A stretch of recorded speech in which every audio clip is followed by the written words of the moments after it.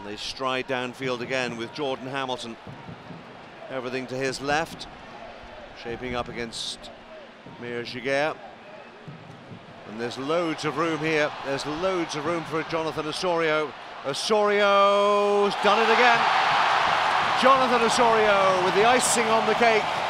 And now there is no doubt Toronto FC bound for the final of the Canadian Championship. See that ball to Delgado, Osorio. Bad first touch, but he does well to cut inside here. Puts the target. If he hit the target from that range, good things are going to happen. that's double-digit goals for him in all competitions. What a year for Jonathan Osorio. There's no wonder some Bundesliga teams are looking at him.